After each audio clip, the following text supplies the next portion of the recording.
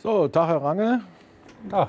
Wir sitzen ja heute zum ersten Mal hier am Simulator und wir wollen mal ein bisschen simulieren, mal gucken, wie sich das so anfühlt, wenn man so eine Lokomotive bewegt, am Führerstand sitzt, an seinem Führerpult und sich so ein Zug in Bewegung setzt. Vom Piloten zum Lokführer. Bis vor einem Jahr saß Ronald Rangel noch im Cockpit einer Boeing 737.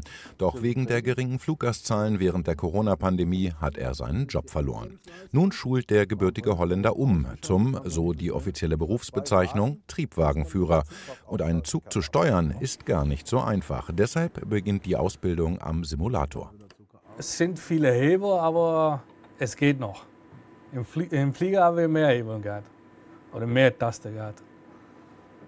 Aber das sind hier andere Sachen, die wir beachten müssen, als dann, dass ich gewöhnt bin. Und das macht es nicht schwer, aber nicht leichter.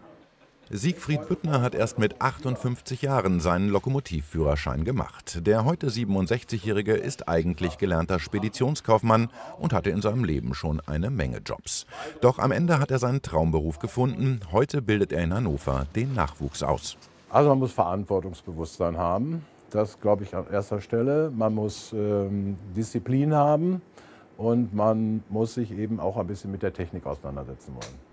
Lokführer werden händeringend gesucht. Allein in Niedersachsen gibt es derzeit 113 freie Stellen. Eine Umschulung dauert zwölf Monate. Ein Höchstalter gibt es nicht. Bewerber sollten aber mindestens 21 Jahre alt sein und einen Schulabschluss vorweisen können. Wir haben eine Situation momentan, dass aktuell, aber auch in Zukunft es immer normaler wird, dass man in seinem Leben auch den Beruf ein, zwei, vielleicht dreimal sogar wechselt. So wie früher in der Lehre angefangen und dann mit 60 in Ruhestand gehen, das wird künftig kaum noch jemand machen. Bei erfolgreichem Abschluss beträgt das Einstiegsgehalt eines Lokführers 3200 Euro plus Zuschläge. Verglichen mit dem Gehalt eines Piloten ist das zwar nicht viel, aber es gibt ja auch noch wichtigere Dinge als Geld ich habe ein bisschen ähm, geguckt nach anderen Jobs und äh, eigentlich auch zufällig auf diesen Job äh, gekommen und auch, dass es dann über das Arbeitsamt geht. Und äh, ja, ich dachte, das macht mir Spaß später und äh, ich versuche das mal.